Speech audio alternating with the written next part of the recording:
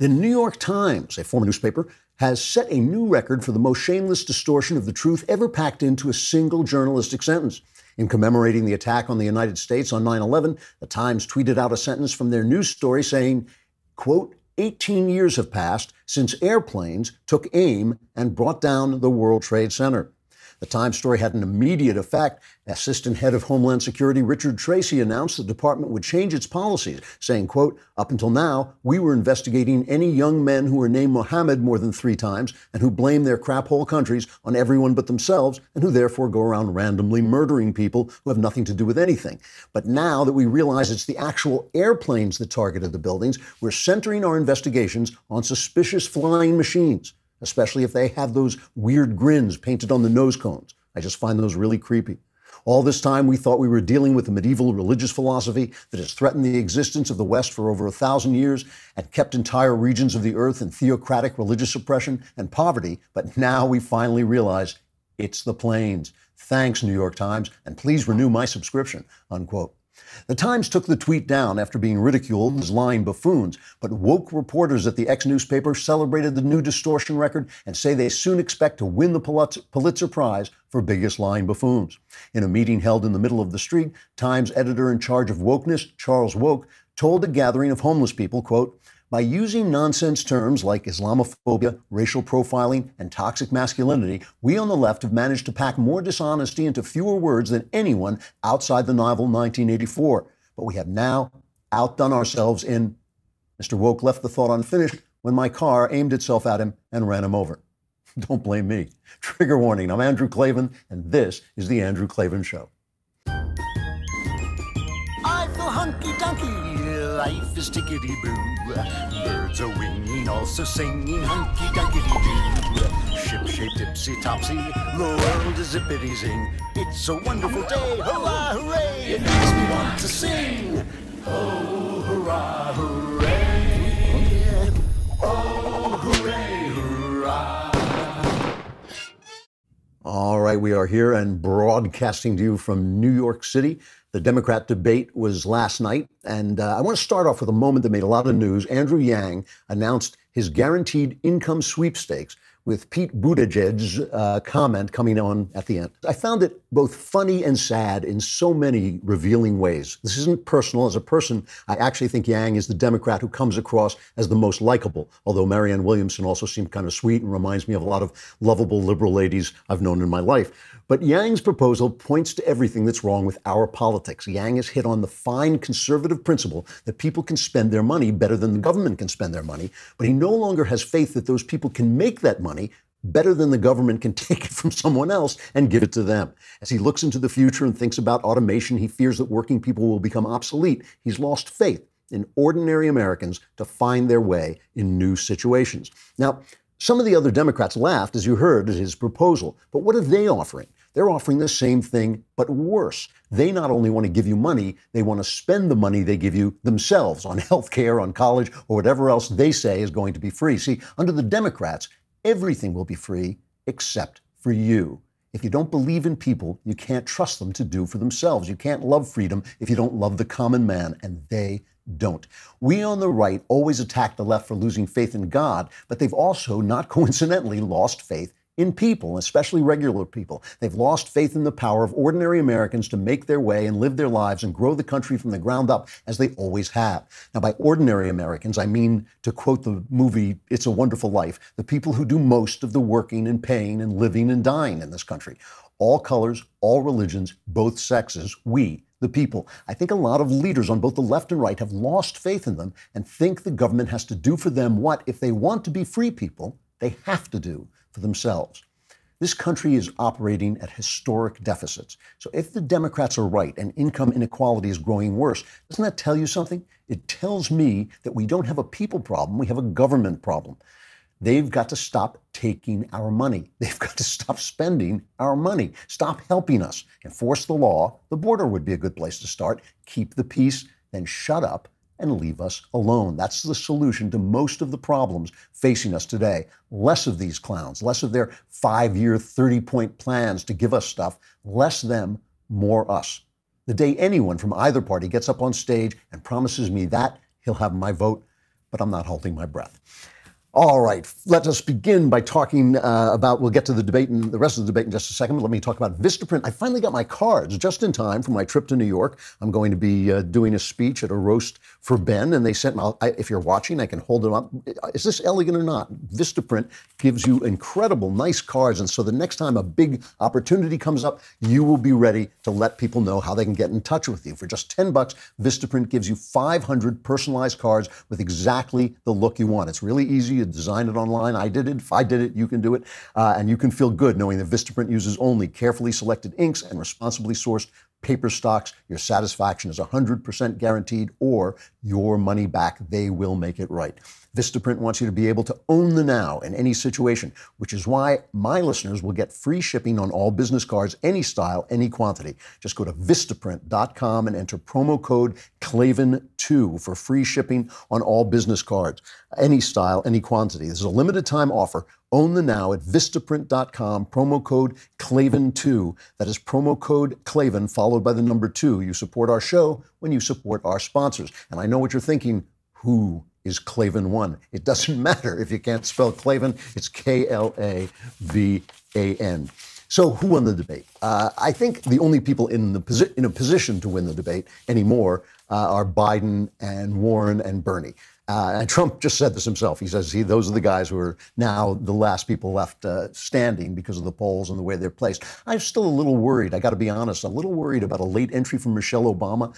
Uh, I'm not sure she wouldn't look bad if she did that. Uh, but still, she's a powerful person. Her book is selling uh, a lot. If you watch Bill Burr's new special on Netflix, uh, you'll see why uh, that wouldn't be such a good idea. But I'm still a little concerned about it. But anyway, I think uh, Biden and Warren both came out of it looking good by not doing anything, essentially. Biden fuddles around and he makes all kinds of mistakes and he sounds ridiculous at times, but he doesn't make any big errors. And the places where he was attacked, he was actually often in the right.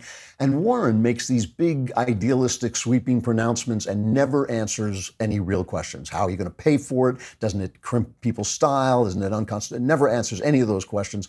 Uh, and that's, I think, that's working well for her. You know, she's that's kind of typical of a candidate who's in the lead. Don't take any chances. Don't step out. It's the guys who are down down on the bottom uh, who have to make the big have the big moment that brings them into the foreground. But you know, debates are not the only way that people see people, and especially these debates where there are ten people in line. I think that. Um, you know, where there are so many people on stage, it's really hard for anybody to make an impression. I think it's kind of ridiculous. I've picked Warren for a long time. Trump has indicated that he sort of thinks that's the way it's going, that Biden is falling behind. I could be wrong, but I saw nothing at the debate to change my mind that it was going to be Elizabeth Warren uh, at the end. Uh, let me give you some of my favorite moments. Beto O'Rourke, for one thing, he is toast. He's done. This is that was the end. This debate was the end of him. Uh, you know, I, I, hate the phrase beta male. You know, I think this alpha male, beta male is about apes. It's not about human beings. But Beto, he just he just walks right with that name, right? He walks right into it. He's so desperate for attention. He's gotten more and more ludicrous. If he doesn't stop flinging his hands around, uh, somebody's going to have to tie him down. I mean, at least Yang is offering to give me something, but Beto is going to take something away. He's going to take away our guns. So this is what I think was his last hurrah. Are you proposing taking away their guns, and how would this work? I am. If it's a weapon that was designed to kill people on a battlefield,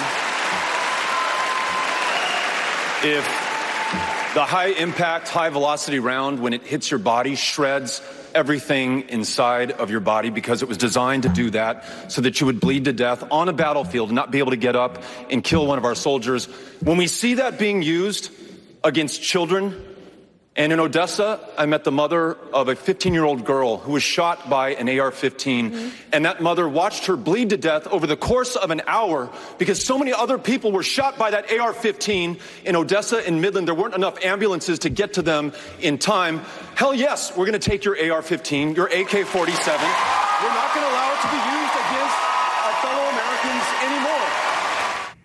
So here's why I think that's the end of Beto O'Rourke. First of all, it's absurd. We do have a constitution. The constitution is the law. We do have courts that enforce the law. Unless these guys are really talking about tyranny, you're not taking away anybody's guns just because you decide that you're going to do that. Uh, we do have the right to bear arms, the right to defend ourselves, and the, that right was given to us. It was protected for us. It was given to us by God, but it was protected for us by the Constitution so that we could remain a revolutionary country, a country that can fight back if the government gets out of hand. That's why people have military style weapons. Most of the people who have military style weapons have them for that purpose because they want to be able to.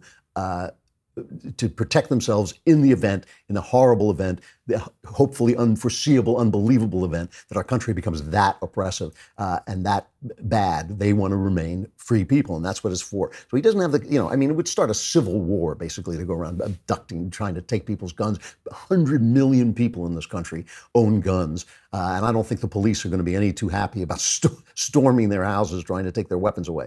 And once they do, it won't be America anymore, and that'll be the end of that. So, anyway, that's not going to happen. But here's the thing, all right? A lot of people have said that Beto is running for Senate and he just doesn't know it. If he ran for Senate, I assume he would run for Senate in Texas as he did before. When he was running for, sec- for Senate in Texas, he had a it was singing a much different song because in Texas everyone's strapped, everyone has a gun, right? And they love their guns as people should love their guns and take care of their guns and be careful with them. And here is what he said in a radio interview with Chad Hasty uh, in when he was running for senator in Texas. I own an AR-15. A lot of our listeners own AR-15s. Why should they not have one? Um, to be clear, they should have them. If you purchase that AR-15, if you own it, keep it. Um, continue to use it responsibly. So there, what you have there is a Beto male, uh, basically saying whatever he thinks he needs to say. And now he, you heard the audience cheering for destroying the Second Amendment. Uh, you know, so that's now he's saying that, and that just makes him look absurd. It makes him look insincere because he is insincere. It makes him look desperate because he is desperate. And it also means when he goes back to Texas to run for Senate, good luck to you, pal. I don't think so. maybe he's going to run. Maybe he's going to declare he's a resident of Connecticut or something like that. But I, I don't know where he goes from here. I think he really, you know, the, the guy didn't need a gun to shoot himself in the foot, but I think that that's what he did.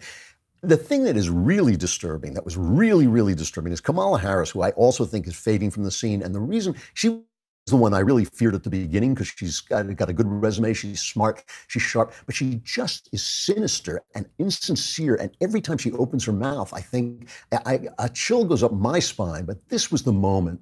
This was the moment that, to me, kind of encapsulated the Democrats. But she said the quiet part out loud. In recent days, former Vice President Biden has said about executive orders, some really talented people are seeking the nomination.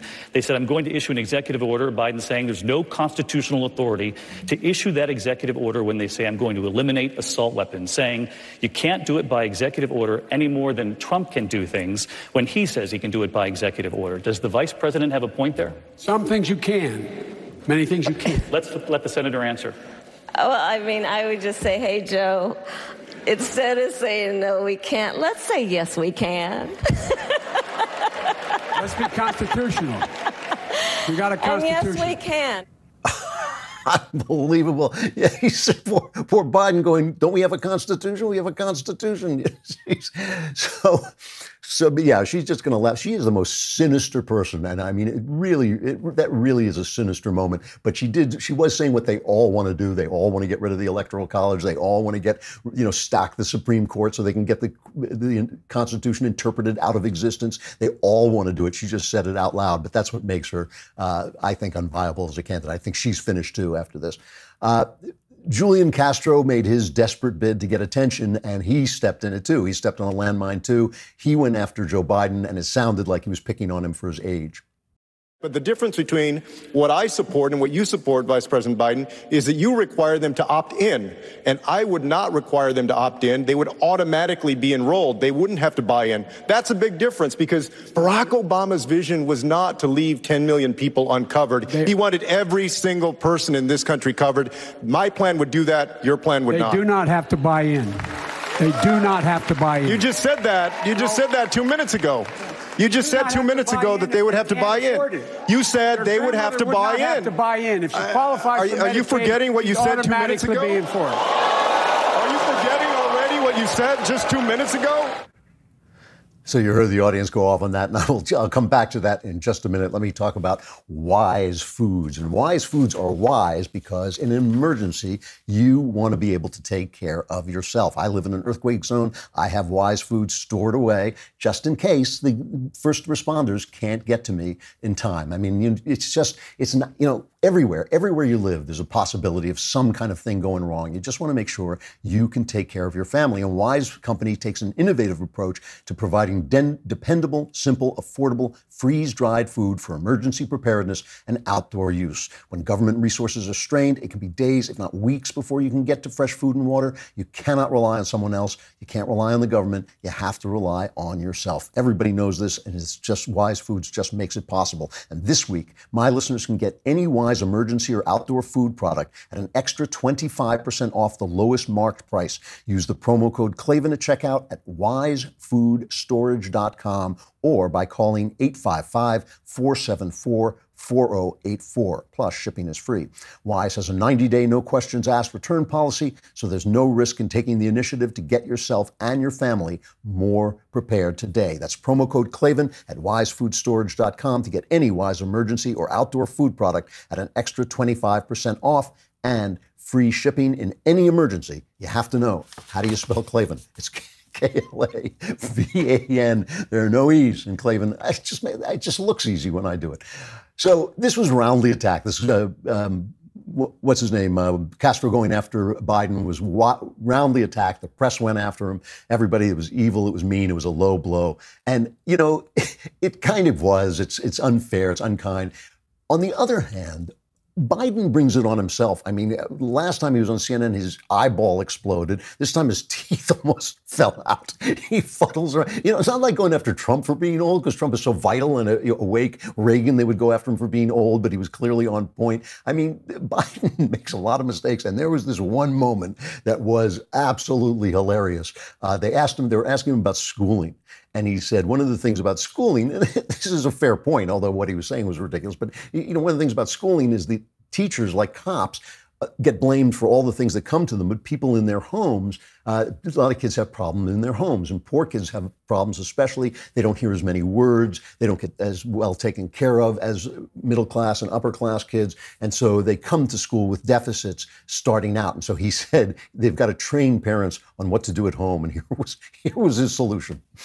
It's not that they don't want to help. They don't want. They don't know quite what to do. Play the radio. Make sure the television. The, excuse me. Make sure you have the record player on at night. The, the, the, phone. Make sure the kids hear words. A kid coming from a very poor school, a, a very poor background, will hear four million words fewer spoken by the time they get there. There's Thank so you, much. We, no, I'm, I'm going to go like the rest of them do, twice over. Okay. yeah, they, got to play. Hey, she got to play that radio. You know, Abbott and Costello. They were very funny, but on, radio, crank up the old radio, then crank up the, the record player. Listen to little Bing. I, I love the way that man's. I mean, I mean, come on. You know, you're talking about you know, listen to the radio. I'm sorry, but, but I thought I thought you know he does he brings it on himself. He brings it on himself. Anyway, I just a couple more points, just a couple more points. I'll move on because there's another important story uh, I want to talk about. um, Kamala Harris. well, here's something that, that really does matter. Kamala Harris went after Trump about China. So here's that clip. We have to hold China accountable. They steal our products, including our intellectual property. They dump substandard products into our economy. They need to be held accountable. We also need to partner with China on climate and the crisis that that presents. We need to partner with China on the issue of North Korea. I am on, and I think the only person on the stage, the Senate Intelligence Committee and the Senate Homeland Security Committee. We need a partner on the issue of North Korea. But the bottom line is this Donald Trump in office on trade policy. You know, he reminds me of that, that guy in The Wizard of Oz. You know, when you pull back the curtain, it's a really small dude. yeah, yeah. Dorothy did get back to Kansas. I'd like to remind you. But se- but secondly, you know, what was interesting here two two things. One was as everybody says, they've gotten the memo on Barack Obama. Last time they attacked Barack Obama, he wasn't good enough. Now Barack Obama was the most wonderful thing ever, and and suddenly nothing he did was wrong, and they just they just want to make it a little better. They want to tune it up a little bit. It was not, you know, never mind the wars in the Middle East, never mind the bad economy, the, the slow, slow, slow recovery. Uh, now he's the best. That that was one thing. But the other thing, of course, is going after Trump uh, is is the thing. Although although they didn't talk about the economy, and I would like to point out that what Kamala Harris is saying is basically she would do what Trump is doing and what nobody has done before. She would do what Trump is doing, but no one has had the guts to do it. So Kamala out again. I'll, I'll end with uh, Warren because I think she's the one uh, who did the best, and this is why she does the best. Uh, Stephanopoulos comes after her with a big question: Is she going to raise middle class taxes? And of course, the answer is yes. Always, always socialism eliminates the middle class and become it's just the poor and the people they elect who have power and therefore have money. That's what it always does. But listen to her dodge the question. Direct question. You said middle class families are going to pay less, but will middle class taxes go up to pay for the program? I know you believe that the deductibles and the premiums will go down. Will middle class taxes go up? Will private insurance be eliminated? Look, what families have to deal with is cost, total cost. That's what they have to deal with. And understand, families are paying for their health care today.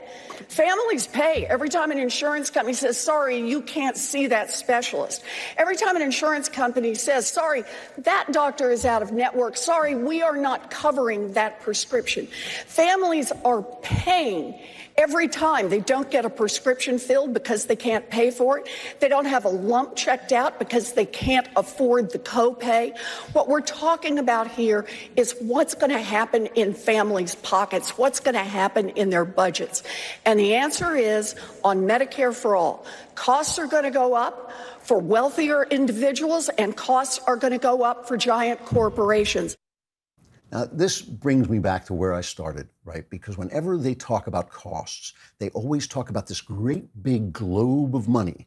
It's all this money, and it's going to cost less overall. You may die because the government doesn't think you're worth keeping alive anymore, but oh, that big ball of money is all going to be so much better than it was before. Instead of thinking the way the country was supposed to be, instead of thinking small, start with individuals, move to towns, counties, states. Then the last person who has any power over you and has should have the least power over you is the federal government. And that has all changed, as a lot of people uh, feared it would, but has changed much worse than they could have imagined because of TV, basically, because we're all linked, so linked together. The world is so global that we no longer think of ourselves as neighbors, as communities, as towns, as states. We think immediately that the president is the guy we should be looking for, looking to. And so when she talks like that, she, all of them, and too many on our side, too, have given up on the idea that the individual is the way things should work, that the individual and his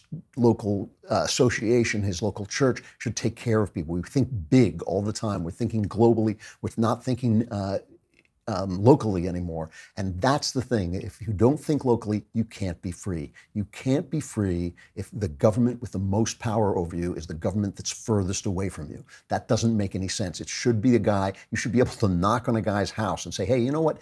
That thing you did at the town hall meeting, I didn't like that very much. And I'll tell you why, because you're a kid and Mike and so on, and be able to make those arguments. But they're always thinking in these big, big ways.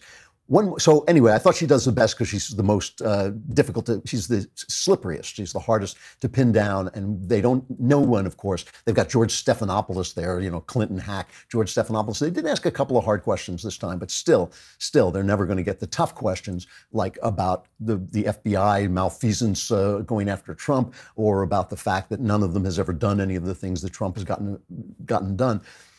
Speaking of this, though, I do have to cover this one story because I think it's important. Federal prosecutors, this is from USA Today, recommended seeking criminal charges against Andrew McCabe, the former deputy director of the FBI and a frequent target of criticism by President Trump.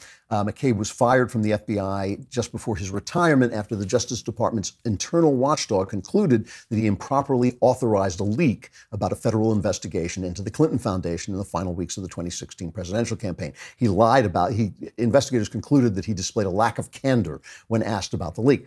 So now it looks like he could actually get prosecuted. I'm always saying these guys are never going to get prosecuted, but it looks like McCabe may get prosecuted. And remember, this is two IG reports back. And this is not the last IG report that came out with that. This is the one before that. Uh, and there's still an I, big, the big IG report that covers the whole investigations supposedly coming forward, other investigations into what happened. This is a big story because it, it means that this is a, a Justice Department that, if it remains the Trump Justice Department, uh, is willing to move forward on some of these prosecutions. And it's also telling about, I don't know if I covered this, I'm not sure I've covered this, this spy story that went around a few days ago as Jim Sciutto on CNN blew the story.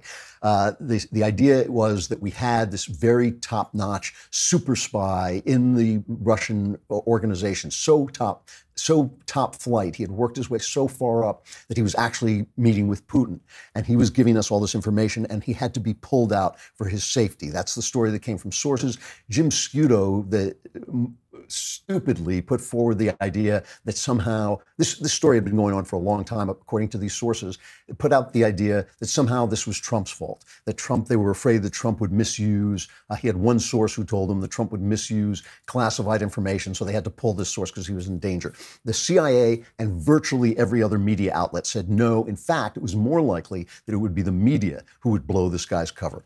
So, but Kim Strassel at the Wall Street Journal, who's been covering this very carefully, she points out that just before some big reveal on Obamagate comes out, there's a leak. And the leak is meant to give cover to the FBI and the intelligence community who investigated Trump in order to get him out of office, basically, who came up with this whole Russia collusion fantasy that we had to live with for two and a half years. And what Strassel is saying is these leaks come out from sources, and the dutifully left wing press goes out and uh, writes these stories that make the FBI look better. Because if we had a super spy in place who was talking to Putin, well, maybe it wasn't just the Steele dossier that they used to get this FISA warrant. Maybe they knew more. And this whole thing stinks. And so it, it may mean that the IG report coming up is going to look really, really bad for the Obama administration. I certainly hope so. I think they have earned it. All right, we have got an interview. Now, I've told you about this uh, piece in the Claremont Review of Books uh, Christopher Caldwell. Caudwell is a journalist. He's written everywhere. He's written the Post, New York Times, the Wall Street Journal. Uh, he was a senior editor at uh, the Weekly Standard. Um, and he wrote this spectacular piece on Brexit and the meaning of Brexit and why it's so hard to go forward with it. I asked him to come on. He was gracious enough to come on, did an excellent interview explaining some of the things we're seeing in Britain uh, right now. Here's Christopher Caldwell. Christopher Caldwell, thank you so much for coming on. I appreciate it. Delighted. Uh, your piece in the Claremont Review of Books was one of the best pieces. I think it was the best piece on Brexit I've read. I think it was uh, just so insightful and um, uh, insightful and explanatory. Explain to people what, what's not to like about being in the EU for uh, Great Britain. Well, it uh, it's a, pretty much a bedrock thing. It's a it's a matter of who you of being ruled by people like you. I think it's the same. It's the same problem that that that any sort of province has within a larger empire. Uh, Britain uh, joined the European Economic Community in 1973 at a time when it was really a set of um, regulatory and trade arrangements, uh, and voted on it, uh, voted to go in in its first ever referendum.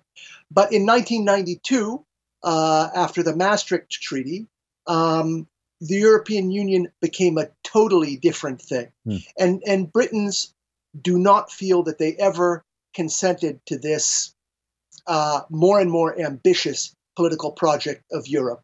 And um, they demanded a referendum uh, to decide whether they belong in Europe or not. Parliament granted one. And in 2016, they voted to leave the European Union. But now um, uh, uh, Parliament is obstructing the carrying out of the referendum that it that that it okayed, and uh, so it's become very contentious. All all you hear, uh, even in the American news, but certainly in the British news, at least through the BBC, is a kind of panic that if they leave uh, the EU, all trade deals will collapse. English right. friends of mine said to me, we won't even be able to fly a plane into Orly Airport uh, and land there. Is any of that realistic? I think it's realistic to be worried about it. But the fact is that people um, were worried about it, um, uh, have been worried about it for the last couple of years. And what we're talking about is a what we're talking about is a, uh, some short-term inconveniences that could be larger inconveniences. So the, the, the normal ones are a backup of trucks at the Dover Calais uh, tunnel entrance. That would last for about three hours. Uh, on a more serious level, uh, uh a short term cutoff of medicines, um, hmm. certain important medicines, which could be dangerous for certain people. But all in all, we're talking about an event that is much less grave than say our own. I don't know if any of your viewers remember the Y2K bug, right? But you know, it's it's that type of thing.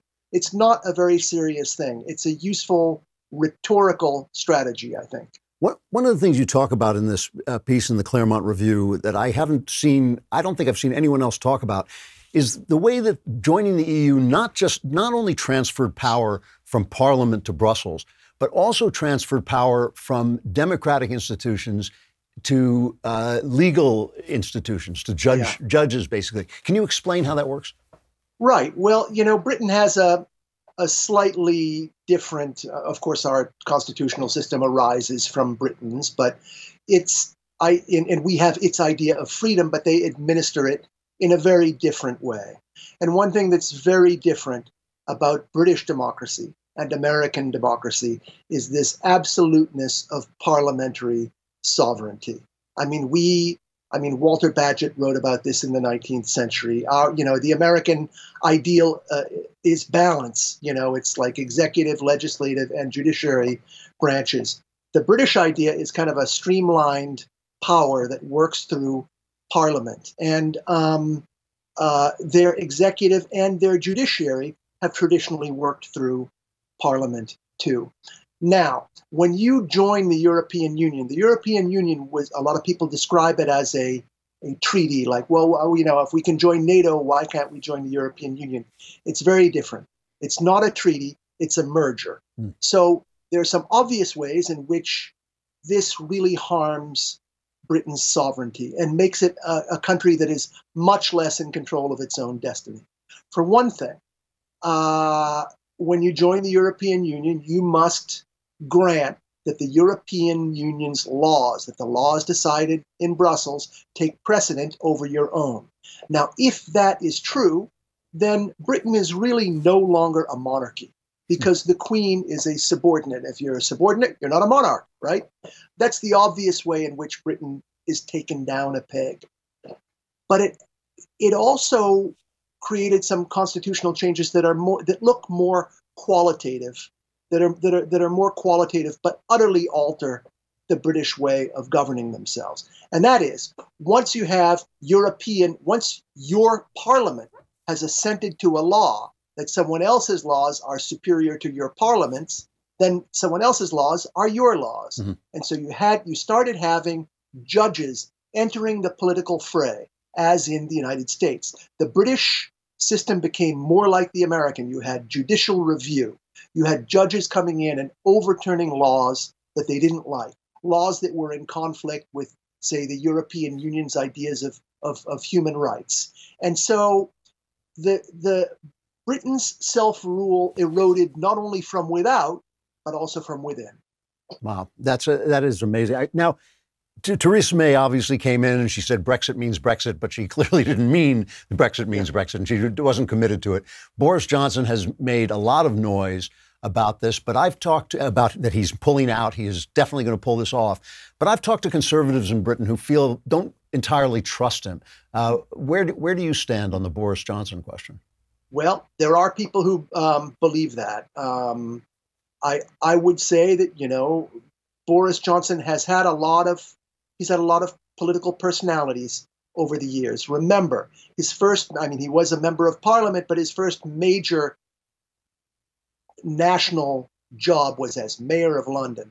Now, London is a very um, multi ethnic, very culturally liberal, very cosmopolitan, um, very complicated city. It's not running a big city is not a place for dogmatists. Mm-hmm. So just by the fact of of having got himself elected mayor of London, Johnson have, has proved himself a guy who is totally willing to compromise when he when he must.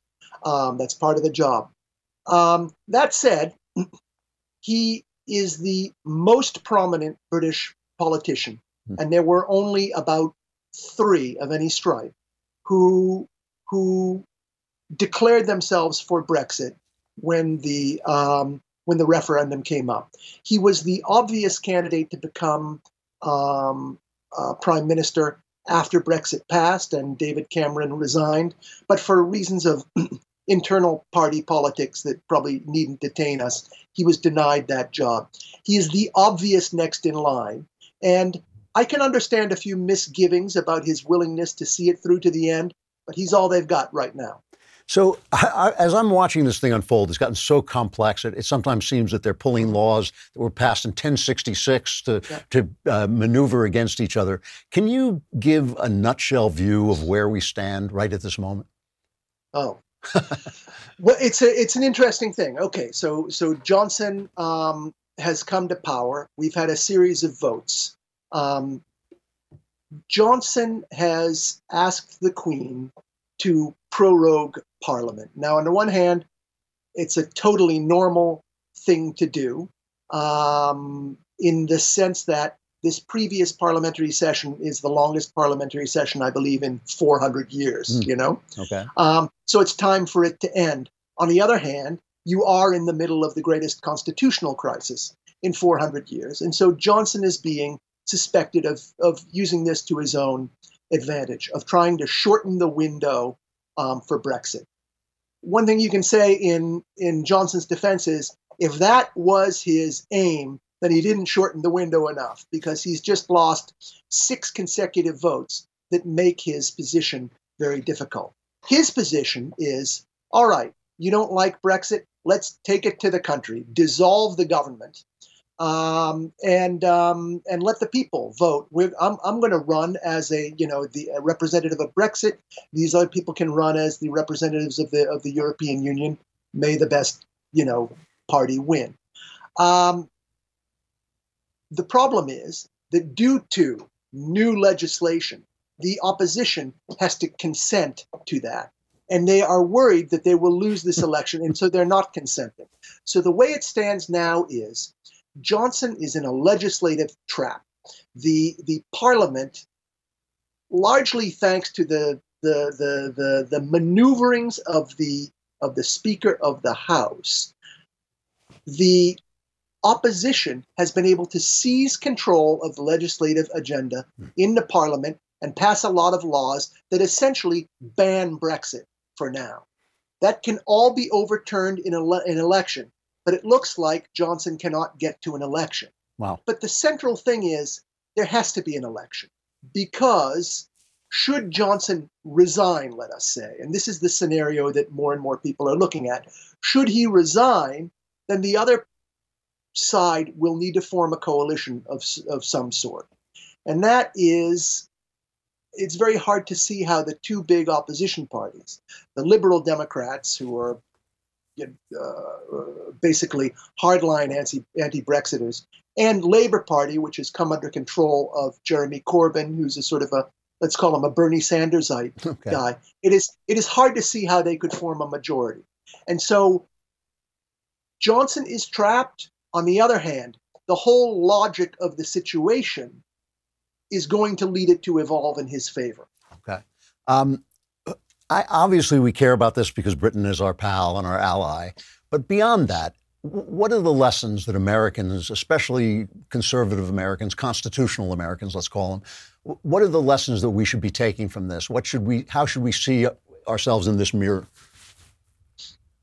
It is very interesting. It's not just that Britain's our buddy and our ally, but it's that in, in a way it's our model. And I think that the the ways in which Britain differs from us while resembling us are very interesting. Um, it's been the broad sweep of, of Britain's evolution in the last 50 years has been to become more American.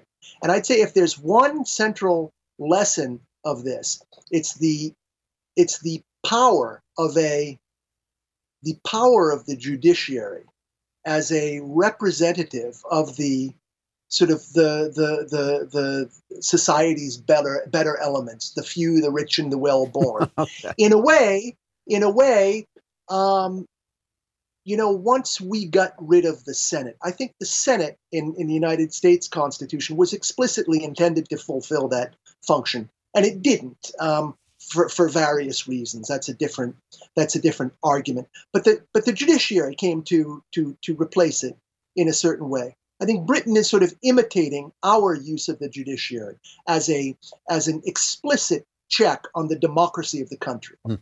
Inter- interesting. Uh, I'm, I'm, out of time, but let me ask you. I I know no one can predict the future, but uh, will Brexit happen? Oh, that's a that's a tough one. I mean, I it, it you know it hasn't happened so far.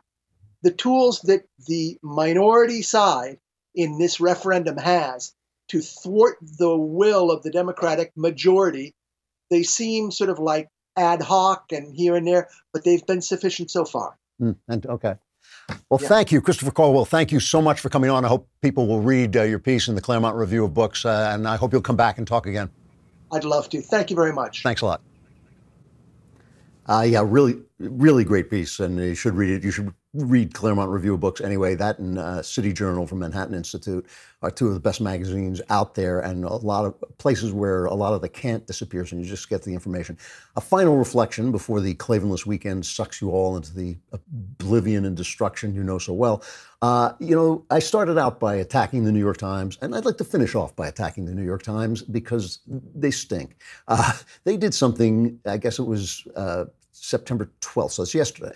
Uh, there's a new comedian who has been named as one of the newest Saturday Night Live cast members. And I'm sure you can understand that that, in the life of a young comedian, is one of the great days of his life, right? This is a wonderful, wonderful thing that happens. The New York Times, is, in a story written by Nancy Coleman, runs a story saying a comedian named on Thursday as one of the newest Saturday Night Live cast members made racist remarks mocking Chinese people and used a racial slur in a podcast episode last year. The comments were uncovered by a comedy journalist. We, that's something we really, really need. We really need comedy journalists to uncover funny things that people said. That's uh, you know that's really important. It, it, came out several hours after NBC announced that the comedian Shane Gillis, 31, would be joining the cast along with two other performers. One of them, the show's first Chinese American player. Unbelievable. This is an unbelievable piece of cruelty and nonsense that the New York Times would essentially join with these Twitter buffoons who go on and hunt up things when some guy wins the Heisman Trophy or wins an award or gets a part uh, or is going to host the Oscars, and they dig up these things that they can skew to look like he's a bad guy, that look like he said something.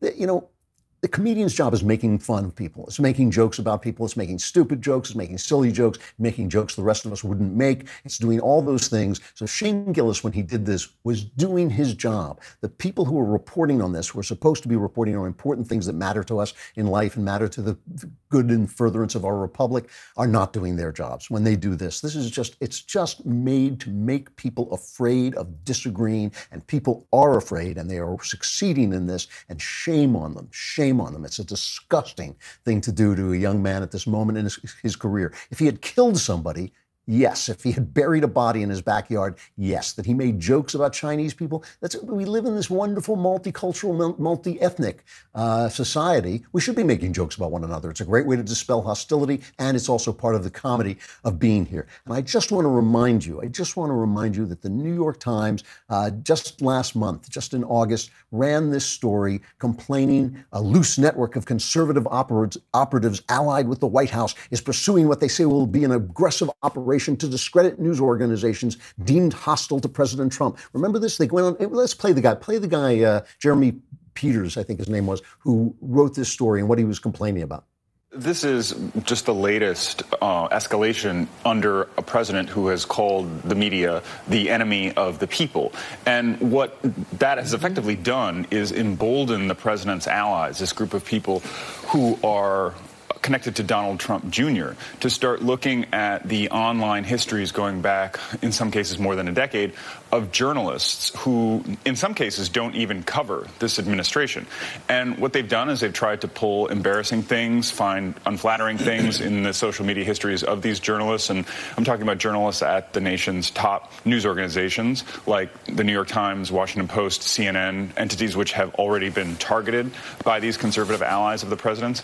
And what they do uh, is they publicize unflattering things that they found in these social media histories when they want to retaliate against a an outlet for publishing a story that is unflattering to the president. So what you have here really is, is something very different from what basic journalism is.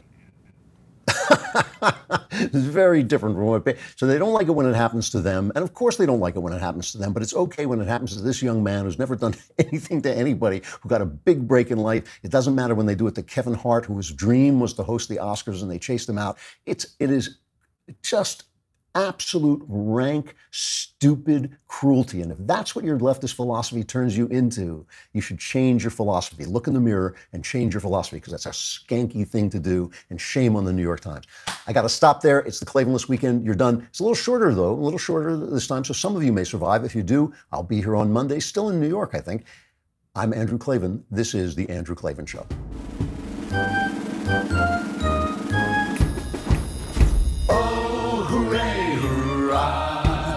The Andrew Klavan Show is produced by Austin Stevens and directed by Mike Joyner. Executive producer, Jeremy Boring. Senior producer, Jonathan Hay. And our supervising producers are Mathis Glover and Robert Sterling. Assistant director, Pavel Wydowski. Edited by Adam Sayevitz. Audio is mixed by Mike Coromina. Hair and makeup is by Jesua Alvera. Animations are by Cynthia Angulo. And our production assistant is Nick Sheehan. The Andrew Klavan Show is a Daily Wire production Copyright Daily Wire 2019. Last night, the top nine Democratic presidential candidates and Julian Castro met in Houston to debate all the top issues and promise the American people a future with two cars in every garage, few teeth in every mouth, and a record player in every living room. Biden fared the worst. No one came out looking good. We will get to the highlights on The Michael Knowles Show.